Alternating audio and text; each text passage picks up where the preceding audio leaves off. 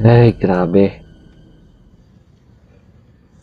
Ang kakapal talaga nila at nakakahiya yung ginagawa nilang pang-i-scam sa foreign tourist na ito sa taxi.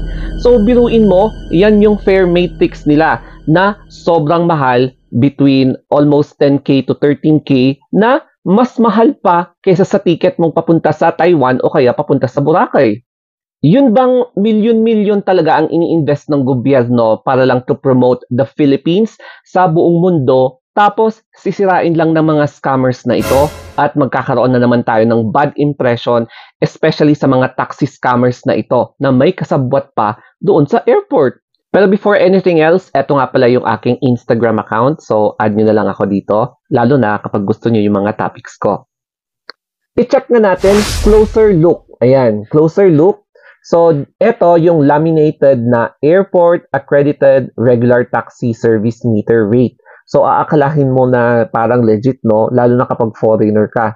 Tapos, kasi may, may Department of Tourism Philippines na logo, tapos na iya, o, oh, di ba? Tapos nakalaminate siya. And dito ka talaga magugulat sa destination and then per passenger to ha, per head, hindi yung lahat kayo. So, grabe. Uh, papuntang Terminal 1, 11,500 pesos. Wow. Terminal 2, 12,000 pesos. Tapos Terminal 3, 13,500 pesos. Grabe ang mahal, no? Terminal 4, 10,300. And then, any part of Metro Manila, 10,300. Tapos, all bus terminal in Metro Manila, 9,700. Alam mo, maha-heart attack ka talaga dito, no? Grabe! Yee! And then, meron pa silang note. Yung note is, follow airport policy Uh, disobeying airport policy is punishable by Philippine law. So, good as original receipt. So, walang contact number, walang address, walang, di ba? Parang, alam kung hindi ka marunong kumilatis, talagang mabubudol ka dito. And nanakot pa talaga sila sa mga foreigner. Yun bang mas mas mahal mag-taxi kaysa sa mag-book ka ng ticket papunta sa Boracay, papunta sa uh, Davao, papunta sa uh, Thailand, Vietnam, Indonesia, Taiwan. OMG. 'Di ba? So sana makulong ang mga to, no? And sigurado ako under investigation itong kasong ito. Nakakatrauma ito para sa foreign tourist na ito. So, ito yung short summary according sa mga nabasa ko na mukhang sila po ay Asian foreign tourist na pupunta dapat sa Paradise na Boracay uh, lumapag sila sa NAIA Terminal 3 and then nung nagtaxi sila, natsambahan nila yung mga scammers. So, papunta sila sa Terminal 4, pinapabayad sila ng 10K. Pero nakipag-negotiate sila, bumaba sa 5K. So, negotiable pa lang pang i-scam, di ba? so, hindi pa nga sila nakakarating sa point of destination nila, na-scam na sila, ng katroma, And syempre, nag-post na din sila na may Chinese characters para ma-warn yung mga ibang foreign tourists na naglipanan na naman ang mga taxi scammers na ito. Nangyari ang insidenteng ito, uh, I think 2 or 3 or even 4 days ago, correct me if I'm wrong, kaya babala sa mga pupunta sa airport or sa mga relatives nyong nag-arrive from other places, mag-ingat-ingat po tayong lahat sa mga ganitong klaseng kawatan. Basahin natin yung post, no? So, hindi ko babanggitin yung nag-post para sa privacy niya. So, sabi dito, Do you really have this metro? Ninoy Aquino International Airport. So, tinag niya yung naiya. Why your guards are leading the foreigners here? I hope you do an action to this. And then, this is ridiculous. I hope you get caught and put behind bars for doing this. Scamming foreigners. Nakakahiya talaga, no? Tapos dito, my BF shared this post to me from a Cebu, Bohol, and Boracay Island FB group for Taiwanese tourists. Tapos, ito yung summary of the post. They were scammed by a taxi driver at Manila Airport after being misled by a guard. The guard falsely claimed there was no shuttle bus to the correct terminal and directed them to a taxi driver in red clothes who turned out to be a part of the scam. The driver demanded an exorbitant fare of 10,000 pesos per person and locked them in the car until they paid. They ended up paying 5,000 pesos after negotiating that they only have that amount of money in their wallet. And the whole trip is only from NAIA Terminal 3 to Terminal 4.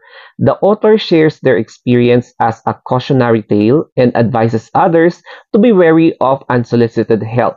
So, verify information and prioritize safety when traveling. So, hindi porke yun yung tinuturo ng mga kung sino man ng staff or guard, syempre, um, maging vigilant ka pa rin, no? Kasi ang daming history na ng scam sa naiya, di ba? I feel so sorry for them and everyone who has been scammed before. This horrible scenario happening in my country is truly heartbreaking. Nakakalungkot, no? And nakakainis, etong makakapal talaga ang face. Tapos dito naman sa comment section, sabi dito is grabe, sobrang nakakahiya talaga sa mga tourist na gusto lang mag-vacation dito sa Pilipinas. Which is true naman, di ba? And then, eto naman sa isa, yung sa Manila Mint, trike lang nagbudol 500 kulong report sa police para mabawi 5K.